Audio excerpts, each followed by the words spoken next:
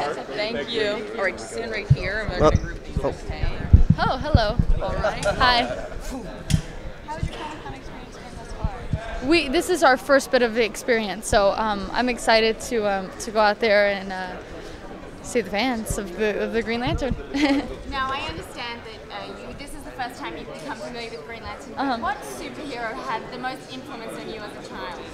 I really wanted to be Spider-Man.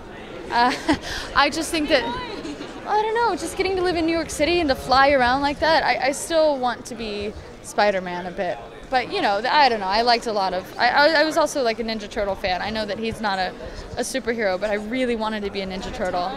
Oh my gosh, I know he was. Raphael was good too. Anyway, we won't fight about.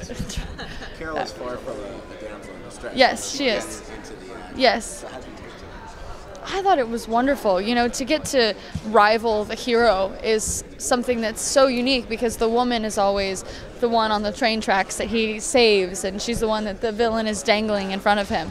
But she has to save Hal a few times, and you know, she's also his boss, and she doesn't start as his as his love. Um, you know, they have a history, but they also, you know, they have a good history and also a bad history. So it's, it, it was a really nice dynamic to play every day. Now, Blake, you're, you're a brunette in this. Yes, I am. more fun than uh, Do brunettes have redheads?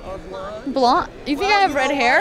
I'm looking going, like a little red on top. So Rose gold. the brunettes have a little more fun? Uh, you know, y- the brunettes maybe a little. You know, I, I felt a little more serious as as Carol Ferris with my brown hair. Um, I don't know. It was fun being brunette. It was very different. The way that you, I feel like just even the way I moved was different. It kind of it changes a lot of things about you. But that's also inhabiting Carol, who is a strong, tough, tough girl. Craziest stunt you got to do?